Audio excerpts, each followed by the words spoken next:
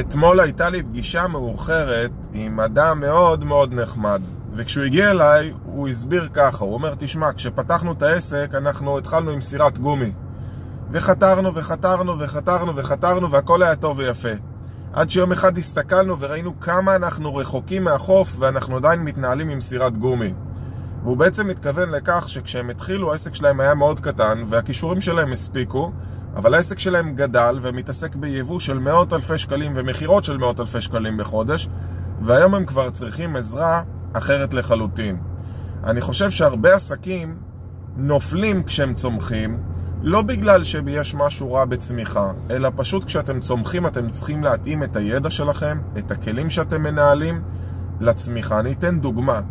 אם כשהיית קטן, הספיק לך לנהל תזרים מזומנים בראש, ואחרי זה אולי באקסל, בשלב מסוים אתה חייב לעבוד עם תוכנה על ניהול תזרים מזומנים. אם בשלב מסוים המלאי זה מה שהיית רואה בעיניים, אחר כך אתה חייב לנהל את המלאי שלך עם תוכנה שמתמחה בניהול מלאי. אם יש לך סוכן אחד שזה אתה, אתה לא צריך לנהל אותו בכלל. אבל אם אתה גדלת, אתה חייב שיהיה לך כבר תוכנה לניהול הסוכנים ואיזה GPS שתראה איפה הם פורסים בארץ.